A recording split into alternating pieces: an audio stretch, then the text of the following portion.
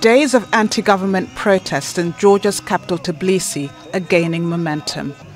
Organised by opposition parties and rights groups in the former Soviet Republic, they aim to force the governing party to drop the so called Foreign Agents Bill.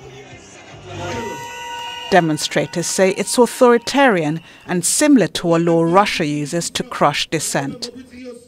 I want to show the position of my family no to Russia. Our path and future is in Europe because we need the European justice and European order, where the system serves the people and not the other way around. The system doesn't serve the people.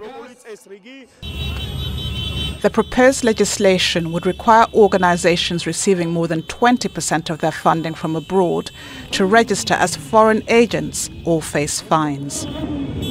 There are hundreds of such NGOs who have done so much good for Georgia and now they face being stigmatized and also possibly shut down because the law uh, gives the powers to the Ministry of uh, Justice to shut any of them at their discretion. The European Union has warned passing the bill could undermine Georgia's bid to join the bloc. It was granted candidate status in December.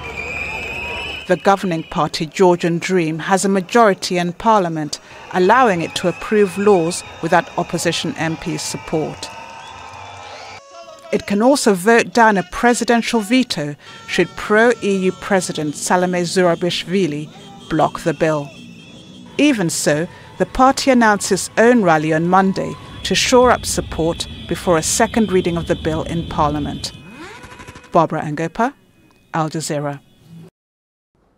Make sure to subscribe to our channel to get the latest news from Al Jazeera.